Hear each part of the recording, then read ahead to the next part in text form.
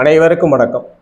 ஜோதிட ரீதியாக ஒரு ஜாதகருக்கு செவ்வாயின் மூலியமாக கிடைக்கக்கூடிய யோகங்களை பற்றி தான் இந்த வீடியோவில் பார்க்க போகிறோம் செவ்வாய் இந்த கிரகத்தினுடைய காரகமாக மிக முக்கிய காரகம் மனித வாழ்க்கையிலே. பூமி ஒரு ஜாதகருக்கு வேண்டும் என்றால் அதற்கு காரக கிரகம் செவ்வாய் தான். என்னதான் சுய ஜாதகங்கள்ல நான்காம் இடம். ஒரு ஜாதகருடைய அசையா சொத்துக்களை குறித்தாலும் காரக கிரகமாக செவ்வாய் பார்க்கப்படுகிறது. அதுபோல மற்றொரு காரகராக போர்க்காரகராக செவ்வாய் சொல்லப்பட்டுள்ளது. இதுபோல ஒரு ஜாதகர் வந்து யூனிஃபார்ம் சர்வீசஸ் சொல்லக்கூடிய அரசாங்கத்தில் ஆர்மியாக இருக்கட்டும் போலீஸாக இருக்கட்டும் அல்லது உயர் அதிகாரிகள் அந்த டிபார்ட்மெண்ட்ல இருக்கட்டும் மற்றொரு அமைவுகளில் உயிர் காக்கக்கூடிய மருத்துவராக இருக்கட்டும். எப்படிப்பட்ட நபராக இருந்தாலும் ஒரு ஜாதகர் மனிதனுக்கு சேவை செய்கிறார். சக மனிதனுக்கு ஷிஃப்ட் ஓரியன்டர்ல சேவை செய்கின்றார்னா அதற்கு காரகமும் செவ்வாய் தான். எவரவருடைய ஜாதகத்துல செவ்வாய் வலுவாக நல்ல நிலையில் இருக்கிறாரோ அவர்தான் மக்கள் சேவையை புரியக்கூடியவராக இருப்பார். எந்நிலையிலுமே மக்கள் ஓரியன்டான கிரகம் தான் செவ்வாய். அதுபோல செவ்வாயை பொறுத்த வரைக்கும் முக்கால் சதவீதம் சுபர் கால் சதவீதம் அசுபராக பார்க்கப்படுகிறார். ஏன் கால் சதவீதம் அசுப பொன்மை? வேகம். செவ்வாய் எதையுமே யோசிக்காது. சொன்ன செயலை உடனடியாக செய்து முடிக்கும். அதனால தான் நீங்க பார்க்க முடியும். யூனிஃபார்ம் சர்வீசஸ் எல்லாம் மேலதிகாரிகள் என்ன உத்தரவு சொல்கிறார்களோ அதை கேட்டு நடப்பது தான் கீழ் இருப்பவர்களுடைய நிலை. அதை ஒருவதுமே எதிர்த்து கேள்வி கேட்காது. என்ன மேலதிகாரிகள் சொன்னார்களோ அதை உடனடியாக செய்யக்கூடியவர்கள் தான் அவருக்கு கீழ் இருக்கக்கூடியவர்கள் அது எந்த நிலையில் இருந்தாலும் அதற்கு காரணம் இந்த செவ்வாய் தான். எதையுமே சொன்ன செயலை துரிதமாக முடிக்கும். உதாரணமாக நாடுகளுக்கிடையே நடக்கக்கூடிய போர்களில் கூட பல லட்சம் உயிர்களை கூட கொள்வதற்கு சற்றும் அஞ்சாத ஒரு கிரகம் செவ்வாய். ரத்தத்தை பார்த்து பயம் கொள்ளாத கிரகமும் செவ்வாய் தான். நிறைய ஜாதகங்கள்ல பாத்தீங்கன்னா விபத்துகள் நடக்கும்பொழுது ரத்தத்தை பார்த்ததுலேயே அவங்களுக்கு பதட்டம் ஆயிடும். இல்ல சிகப்பு நிறங்கள்ல இருக்கக்கூடிய எந்த விதமான திரவியங்களை பார்த்தாலுமே ஓரளவுக்கு மேல பதட்டம் வருவது காரணம் அவருடைய ஜாதகங்கள்ல செவ்வாய் உயரிய நிலையில் இல்லை. செவ்வாய் வெளுத்தவர்கள்லாம் இதற்காக அஞ்ச மாட்டார்கள். அதுபோல செவ்வாய் தான் ஒரு ஜாதகருக்கு அதிக பூமி வீடு இதெல்லாம் கொடுக்கணும்னா செவ்வாய் தான். மிக வேகமாக வாகனத்தை இயக்கக்கூடிய பண்புகளை கொடுப்பதும் செவ்வாய் தான். அப்ப செவ்வாயை பொறுத்த வரைக்கும் ஜாதகர்களுக்கு முக்கியமான காரகம்னு சொல்லக்கூடிய வேகத்தையும் அதுபோல பூமி யோகத்தையும் கொடுக்கிறார். இது ரெண்டு தான் ரொம்ப முக்கியமான விஷயம். அதுபோல அரசாங்கத்துறையில உயரிய பதவியை கொடுக்கிறார். ஸோ இந்த செவ்வாய் எப்பொழுது இதெல்லாம் ஜாதகருக்கு செய்வார்? எல்லாருக்குமே செவ்வாய் இருக்கும். பிறந்த எல்லாருடைய ஜாதகங்களுமே செவ்வாய் இருக்கிறது. செவ்வாயினுடைய ஆதிபத்தியங்கள்ன்ற ரெண்டு ஆதிபத்தியம் இருக்கு. எல்லோருக்குமே இந்த பலன் கிடைச்சிருமா? எல்லா லக்னக்காரர்களுக்குமே செவ்வாயினால் பூமி கிடைத்து விடுமா? நல்ல யூனிஃபார்ம் சர்வீசஸ் வேலை கிடைக்குமா? அப்படின்னா எந்தெந்த லக்னத்திற்கெல்லாம் யோகத்தை செய்வார் எந்தெந்த லக்னத்திற்கெல்லாம் செவ்வாய் எப்படி இருந்தால் யோகத்தை செய்வார்ன்றதை நம்ம வீடியோவோட கடைசியில அப்டேட் பண்றோம். மற்றொரு அமைவுகள்ல எல்லோரும் புரிந்து கொள்ளக்கூடிய விஷயம் லக்ன யோகர் லக்ன அவயோகர் அப்படின்றதுலாம் இல்லை. செவ்வாய் எல்லா லக்னக்காரர்களுக்குமே யோகத்தை செய்வார் எல்லா லக்னக்காரர்களுக்குமே யூனிஃபார்ம் சர்வீசஸை பெற்று தருவார் அதுபோல நிலவலன்களை அதிகமாக கொடுப்பார். அவர் வேகத்தையும் எல்லாருக்கும் கொடுக்க கடமைப்பட்டிருக்கிறார். மருத்துவராகணும்னாலும் இந்த செவ்வாயினுடைய துணை தேவை. அப்ப எல்லா லக்னத்திலுமே மருத்துவர் உருவாவார்கள். லக்னத்திற்கு செவ்வாய்க்கு அவங்க கன்னியா லக்னம் மிதுன லக்னம். யாருமே மருத்துவர் இல்லையானா கன்னியா லக்னம் மிதுன லக்னத்திலும் நிறைய மருத்துவர்கள் இருக்கிறார்கள். ஏன்? எதனால் என்றால் அந்த செவ்வாய் அவர்களுக்கு யோகம் செய்யும் வண்ணம் அமைகிறது. அந்த வகைகள்ல ஜாதகங்கள்ல செவ்வாய் எப்பொழுது யோகத்தை செய்யணும்? மேஷ லக்னத்திற்கு எப்பொழுது யோகத்தை செய்வார்? மேஷ லக்னத்திற்கு பார்த்தீங்கன்னா லக்னாதிபத்தியமும் அவர் தான் எட்டாம் ஆதிபத்தியமும் அவர் தான் மேஷத்தில் பிறந்தவர்களுக்கு செவ்வாய் எப்பொழுது பூமி தருவார் நல்ல ஒரு அவருடைய வேகத்தை விவேகமாக மாற்றுவார் என்றால் செவ்வாய் எப்பொழுது குருவோடு தொடர்பு கொண்டிருக்கிறாரோ உங்களுடைய ஜாதகத்துல குருவோடு தொடர்பு கொள்கிறாரோ அப்பொழுது நல்லதை செய்வார். சுக்கிரனோடு தொடர்பு கொள்ளும் பொழுது நல்லதை செய்வார். சந்திரனோடு தொடர்பு கொள்ளும் பொழுது நல்ல பலனை அதிகமாக செய்வார். எந்த கிரகத்தோடவே தொடர்பு கொள்ள மேஷத்திற்கு என்ன பண்ணுவார்? வேகமா இருப்பீங்க. ரொம்ப மூர்க்கமான நிலையை கொண்டவர்கள். அதனாலதான் மேஷ லக்ன மேஷ ராசியில பிறந்தவங்க பாத்தீங்கன்னா வேகமான நபர்களாக இருப்பார்கள். மிகவும் வேகமா செயல்படக்கூடியவர்களாக ஜாதகர் இருப்பார். இப்போ ஒரு உதாரணத்திற்கு முதல்ல நம்ம வீடியோக்குள்ள பலன் லக்ன பலனுக்கு முன்னாடி ஒரு இன்ஃபர்மேஷன் எப்பொழுதுமே ஒரு கிரகம் அதனுடைய காரகத்தை எப்படி செய்யும்? அவருடைய ஆதிபத்தியத்தின் வாயிலாகத்தான். பூமி காரகர் போர் காரகர்னு சொல்றோம்னா மேஷ லக்னத்திற்கு அவயோக நிலைகள்ல வளர்த்து இருக்கிறார் செவ்வாய். சுபரோட தொடர்பு கொள்ளல. சுபர்னா லக்ன சுபர் அல்ல இயற்கை சுபரோட தொடர்பு கொள்ளும். முதல்ல ஒரு பாவ கிரகமா இருந்துச்சுன்னா அந்த பாவ கிரகம் நூறு சதவீதம் இயற்கை சுவர்களோடு தொடர்பு கொண்டால் தான் நல்ல பலன். லக்ன யோகர் அவயோகர்லாம் அடுத்து. லக்ன யோகரா அவயோகரை தாண்டி ஒரு கிரகம் அசுப கிரகமாக இருக்கும் பொழுது சுபர் தொடர்பை பெற வேண்டும். அந்த அமைவுகளில் காரகத்தை அவர்களுடைய ஆதிபத்தியத்தின் வாயிலாகத்தான் செய்வார். அப்போ வேஷ லக்னத்திற்கு ஜாதகர் செவ்வாய் வலுத்திற்கு ரொம்ப வேகமான நபர். ஏதாவது ஒரு வேலை சொன்னால் அதை உடனடியாக முடிக்கக்கூடியவர் நேர்மையான நபராக இருப்பார். உள்ளத்தில் வைத்துக்கொண்டு எதையுமே பேச மாட்டார் உடனடியாக வெளிப்படையாக பேசக்கூடியவர். அதுபோல மறைவு பாவாதிபத்தியமும் பெறதுனால ஜாதகருக்கு எட்டாம் ஆதிபத்திய பலனையும் செய்வார். எட்டாம் ஆதிபத்தியன்றது சில நேரங்களில் தவிர்க்க முடியாத நிலைகளிலே ஜாதகர் சில தவறான வழிகளிலே செயல்படக்கூடியதை உறுதிப்படுத்துகிறது இந்த அமைவு. அப்போ ஒரு கிரகம் நல்லதை செய்யணும்னா முதல்ல தசை நடக்கணும். செவ்வாய் தசை நடக்கணும். அல்லது செவ்வாயோட இணைவு பெற்ற திசை நடக்கும் பொழுது ஜாதகருக்கு இந்த காரகங்கள் வெளிப்படும். ஸோ அடுத்து ரிஷப லக்னத்தில் பிறந்தவர்களுக்கு லக்னத்திற்கு ஏழு பன்னெண்டு குடையவராக செவ்வாய் வருவார். கண்டிப்பாக மறுபடியும் மறுக்க முடியாத ஒரு விதியாக ரிஷப லக்னமாக இருந்தாலும் குரு சுக்கிரனுடைய தொடர்பை பெற வேண்டும். கூடுதலாக சுக்கர தொடர்பை பெறும்பொழுது இங்க செவ்வாய் பூமியை அதிகமாக கொடுப்பார். ரிஷப லக்னத்தில் பிறந்திருக்கிறீங்களா?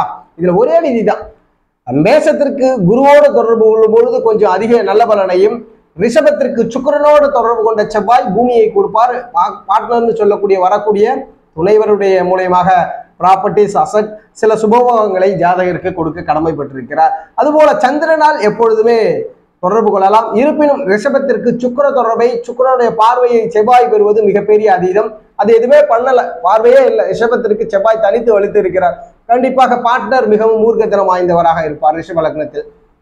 அதுபோல அவர் அவர் சொல்வதை ஜாதகர் கேட்க வேண்டும்ன்ற ஒரு நிலைப்பாடு கொண்ட நபராக ஜாதக ஜாதகருடைய துணைவர் அமைவார். அதுபோல் மிதுன லக்னத்திலே பிறந்தவர்கள் லக்னத்திற்கு அவயோகம்னு சொல்றீங்க. மிதுன லக்னத்தில் பிறந்தாலே செவ்வாய் அவயோகம். இப்ப அந்த செவ்வாய் எப்படி இருந்தால் நல்லதை செய்வார். மிதுன லக்னத்திற்கு பூமி வேண்டும். எல்லா மனிதனாக பிறந்த அனைவருக்குமே பூமி வேணும். பொருளாதார ரீதியாக ஏதேனும் ஒரு சக்சஸ் கொடுக்கணும்னா நிரந்தரமாக கடைசியா எங்க வந்து நிற்குன்னா ஒரு பெருந்தளத்துல ஒரு அசட் இருக்கா வீடு இருக்கா அதுபோல வந்து வாகனத்திற்கும் அவரே ஆதிபத்தியமாக வருகிறார். வாகனம் இருக்கா ப்ராப்பர்ட்டிஸ் இருக்கா இதெல்லாம் பார்க்கறது மிதுனத்திற்கு அப்ப எப்படி இருந்தால் நல்லதை செய்வார். நம் மறுக்க முடியாத இன்னொரு கூற்றும் ஒன்று உள்ளது.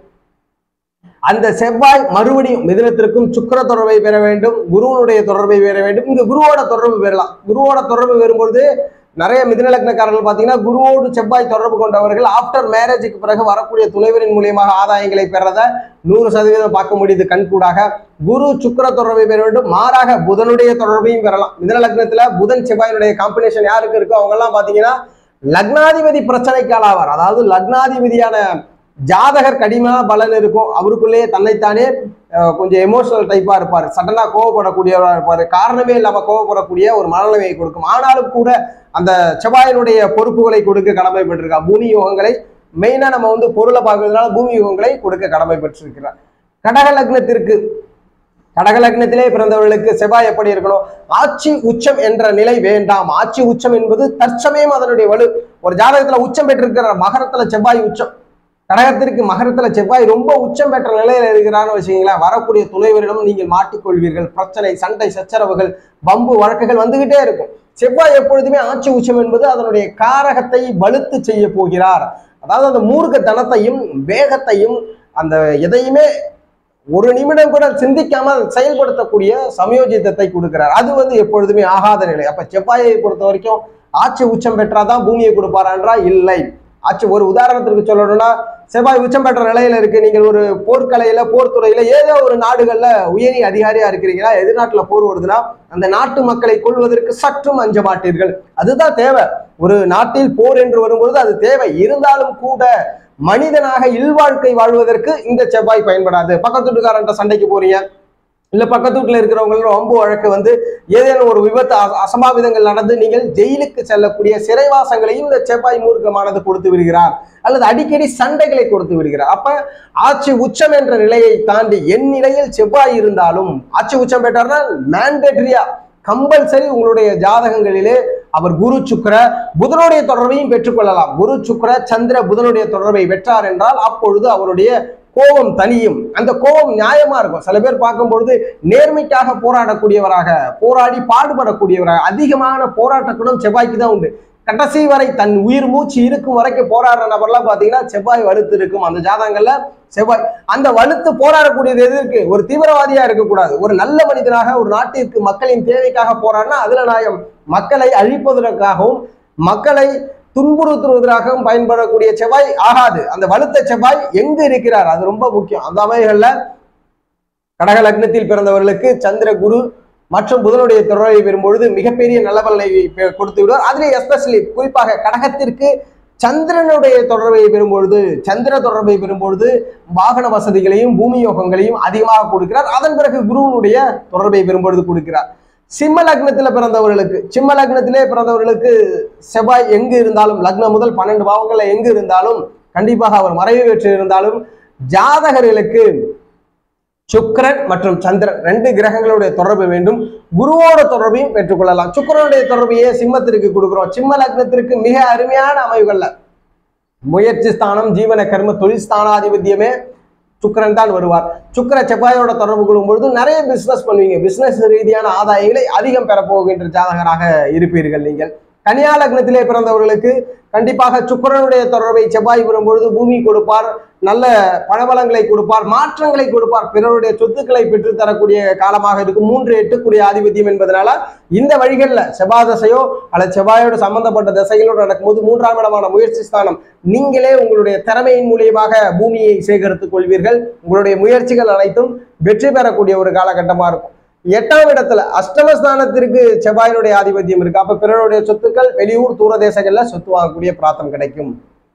துலாம் லக்னத்தில் பிறந்தவர்களுக்கு செவ்வாய் சுக்கிரனோடு தொடர்பு சுக்கிர பார்வை சந்திர சந்திரனை விட சுக்கிரனுடைய பார்வை இங்கு அதீத நல்ல பலனை செய்து விடுகிறது. புதனுடைய தொடர்பும் அதீத நல்ல பலனை செய்து விடுகிறது செவ்வாயினுடைய காரகங்களை ஜாதகருக்கு இரண்டாம் ஆதிபத்தியம் மற்றும் ஏழாம் ஆதிபத்தியம் ரெண்டு மிகப்பெரிய ஆதிபத்தியம். குடும்பத்துல நிறைய ப்ராப்பர்ட்டி இருக்கும். பார்ட்னரின் மூலியமாக ஆதாயம் கொடுத்து விடும். பார்ட்னர் மூலியமாக நிறைய லாபங்கள். பங்கு பரிவர்த்தனை கூட்டாளிகள் மூலியமாக துலாத்திற்கு செவ்வாய் தொடர்பு கொள்ளும்போது ஆதாயங்களை கொடுக்கிறார். அதுபோல விருச்சகத்திற்கு விருச்சகத்திற்கு பொதுவாக ஆறாம் இடம்ன்றதுனால விருச்சக ராசியை பொறுத்தவரைக்கும் எப்பொழுதுமே கடுமையாக நடந்து கொள்ளக்கூடிய ஒரு குணத்தை ஏன் கொடுக்கிறது? காலபுருஷனுடைய எட்டாம் வீடு ஜாதகர்கள் கண்டிப்பாக தன்னுள்ளே பல விஷயங்களை மறைத்து வைக்கக்கூடிய ஒரு ஜாதகர்கள். அது நேர்மையானதா அல்லது தவறான செயல்களான்றது செவ்வாயை பொறுத்து தான் லக்னாதிபதியை பொறுத்து தான் இங்கே விருச்சகத்திற்கு குரு தொடர்பை பெறும்பொழுது சுக்கர தொடர்பை பெறும்பொழுது ஜாதகர் அதீத லாபத்தை அனுபவிக்கிறார். குறிப்பாக சுக்கிரனுடைய தொடர்பு இந்த விருச்சகத்திற்கு சுக்கிர தொடர்பானா பூர்வ ஸ்தானாதிபதியாக குருவாக இருந்தாலுமே லக்னத்திற்கு ஏழு மற்றும் லாபாதிபத்தியம்னு சொல்லக்கூடிய அமைவுகள்ல புதன் வருகிறார். ஏழாம் ஆதிபத்தியம் சுக்கிரனும் பதினொன்றாம் ஆதிபத்தியம் புதனும் வருகிறார்கள். அப்ப புதன் சுக்கிரன் லக்ன அவயோகர்களான அந்த புதன் சுக்கிரன் அதாவது குருவிற்கு அவயோரான புதன் சுக்கிரனுடைய தொடர்பை பெறும்பொழுது செவ்வாய் அதீத நல்ல பலனை கொடுத்து விடுகிறார். ஸோ மற்றொரு அவதிகளில் தனுஷு லக்னத்திலே பிறந்தவர்களுக்கு நேரடியாக குரு தொடர்பை பெறும்பொழுது பூமி யோகங்களை அதிகமாக கொடுப்பார். பொருளாதார வளர்ச்சியை அதிகமாக கொடுக்கிறார். சந்திரனுடைய தொடர்பும் மிகப்பெரிய நலன்களை கொடுத்துவிடும். மகர லக்னத்திலே பிறந்தவர்களுக்கு மகரத்திற்கு சுக்கிர தொடர்பு புதன் தொடர்பை செவ்வாய் பெறும்பொழுது கண்டிப்பாக யோகம். சுக்கிரன் புதனுடைய தொடர்பை பெறுகிறார். அதீத நல்ல பலன் அதீத யோகங்களை ஜாதகர்களுக்கு செய்துவிடும். கும்ப லக்னத்திலே பிறந்தவர்களுக்கு. கும்பத்திற்கும் சுக்கிரனுடைய தொடர்பு புதனுடைய தொடர்பை செவ்வாய் பெறும்பொழுது ஜாதகருக்கு பூமி யோகங்களை தாராளமாக கொடுக்கிறார். வீடு வசதிகளை தாராளமாக கொடுக்க கடமைப்பட்டிருக்கிறார் மீன லக்னத்திலே பிறந்திருக்கிறீர்கள். உங்களுடைய லக்னத்திற்கு குரு தொடர்பு சந்திர தொடர்பை பெறும்பொழுது மீனத்திற்கு அந்த செவ்வாய் அவருடைய இயல்பு ஆதிபத்தியமான இரண்டாம் ஆதிபத்தியம்னு சொல்லக்கூடிய மிக முக்கியமான வலுவான ஆதிபத்தியம் குடும்பம் தன வாக்கை பற்றி சொல்லக்கூடியது. அதுபோல அதனால்தான் மீன ராசியில மீன லக்னத்துல பிறந்தவர்களும் போராடக்கூடியவர்கள் எப்பொழுதுமே அவருடைய வார்த்தைகளின் மூலியமாக போராடக்கூடிய குணத்தை இரண்டாம் ஆதிபத்தியம் என்ற அமைகள்ல தான் அவர்களுக்கு கொடுக்க கடமை பெற்றிருக்கிறது. மற்றொரு அமைகள்ல பாக்கிய ஆதிபத்தியம் பெறுறதுனால நிலபலன்கள் தந்தையின் ஆதாயங்கள்லாம் அதிகமாக கிடைக்கும். குரு மற்றும் சந்திரனுடைய துறவை விழும்போது ஜோதிட ரீதியான தகவல் அல்லது உங்களுடைய சுய ஜாதகம் சார்ந்த கன்சல்டேஷனுக்கு வாட்ஸ்அப் மூலியம் தொடர்பு கொள்ளலாம். ஒரு இரு தினங்களில் உங்களுடைய ஜாதக பலன் முறையே ஆடியோ வாயிலாக வழங்கப்படும். வாழ்க வளமுடன். நன்றி.